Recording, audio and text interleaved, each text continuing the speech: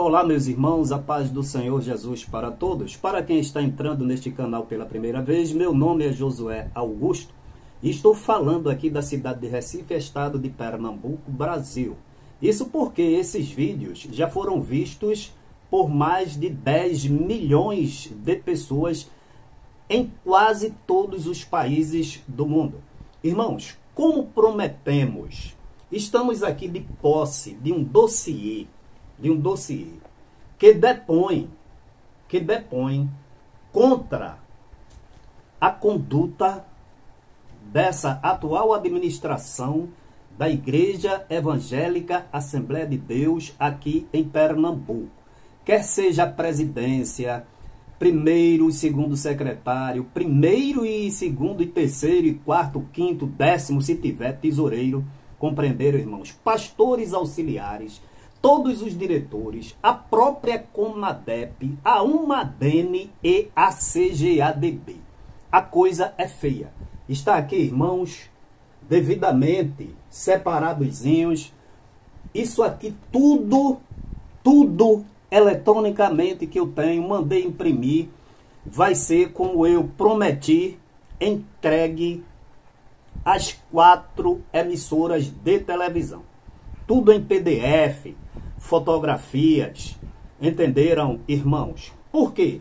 Não é Josué, são fatos que depõem gravemente contra a conduta dessa atual gestão, contra presidente, primeiro secretário, segundo secretário, vice-presidente, diretores, uma DENE, com o, tudo que for é, é, é, é órgão para, eu não diria é assim, né, irmãos? Para melhor explorar o Evangelho de Jesus Cristo. Aqui é a presidência, é a diretoria, é a CONADEP, é a Umadene do Nordeste, é a CGADB e seja lá o que for. É impossível, é impossível membros, pastores, ministério continuarem apoiando e achando que Deus está aprovando uma presidência com todas essas irregularidades, irmãos. São coisas da maior gravidade, da maior gravidade. Eu vou ter que selecionar, porque todas são graves aqui, e apresentar para vocês paulatinamente. Eu falei que vai ser uns cinco vídeos, vai ser uns dez. Eu quero que vocês compartilhem estas publicações, deem o like, comentem aqui embaixo. Irmãos, porque isto não é Josué, isto aqui são fatos, são provas, irmãos. São provas recentes, antigas, processos, processos criminais, certidões, não é depoimentos, compreendeu? É documentos que provam que estão, olha, irmãos, a coisa é muito grave. Deixa eu dizer uma coisa para você. Mandaram para mim hoje algumas fotografias. O Templo Central de Pernambuco está sendo reformado. Vai ser toda, todos os bancos novos. Escutem aqui, crentes de Pernambuco, diretores, presidente e primeiros secretários. Vocês podem forrar os bancos, os púlpitos de ouro. Podem forrar os pisos de prata mas vocês, diretores, presidentes, estão severamente reprovados como homens que não apresentam as condições, as qualificações e as condutas necessárias e suficientes para pastorear, apacentar o rebanho de Deus. Tá certo, irmãos? Então não percam, não percam, compartilhem. É Liguem para os seus companheiros aqui nas outras cidades, nos outros estados, porque Josué Augusto vai apresentar. Nada inventado.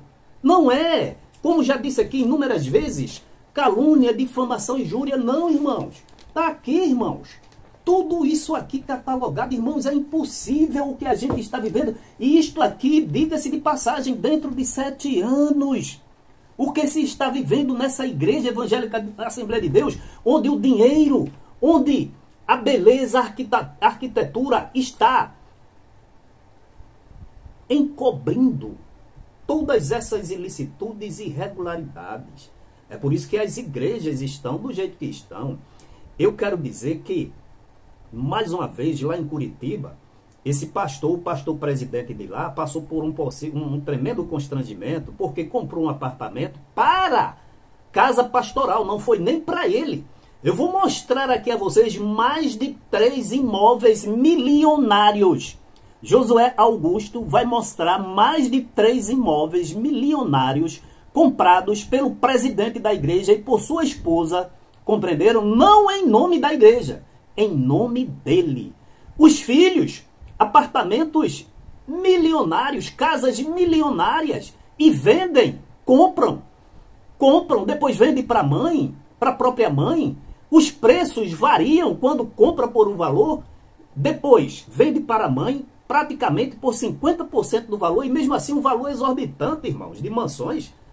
Aí eu repito, meninos que não sabem o que é acordar cedo, pegar o ônibus, ou pegar o seu automóvel, não é? E ir para o trabalho para fazer, gerar riquezas e ganhar o sustento e a prosperidade do seu rosto compram mansões de milhões de reais com dinheiro da igreja, com os dízimos e ofertas.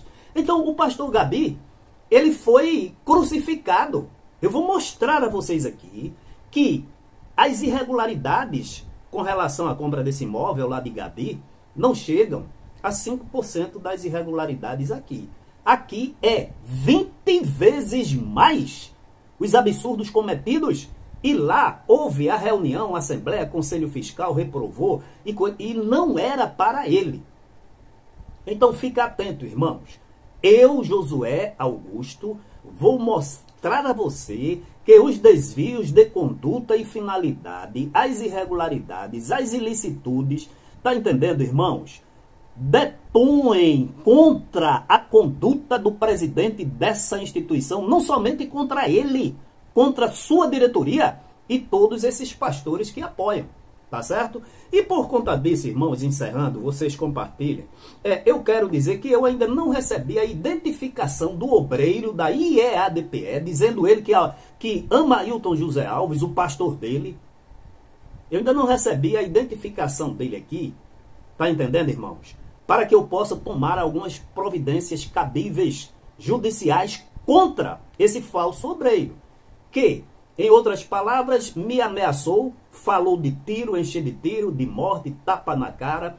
Eu não sei se é um, olha, irmãos de Timbaúba, tem um Carlos de Deus aí.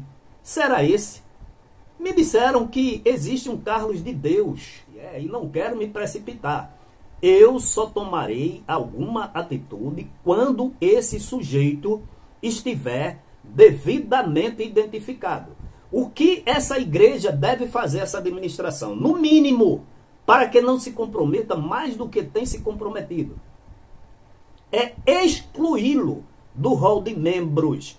Porque se essa igreja ela mantém em seus quadros de obreiros homem ou homens dessa natureza, o testemunho que ele dá e está gravado, publicado aí pelo canal Vovô da Lapada, Eric Ribeiro, e outros que, por certo, ainda publicarão, se mantê-lo em seus quadros de membros ou de obreiros, depõem contra ela mesma.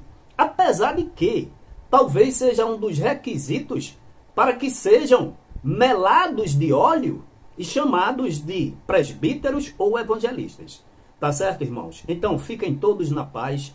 Eu acho que, não sei se é amanhã, mas a partir de segunda-feira, eu vou começar a mostrar aqui a você tudo aqui, irmãos, que depõe contra a conduta dessa atual gestão da Igreja Evangélica Assembleia de Deus. Que Deus em Cristo a todos abençoe em nome de Jesus.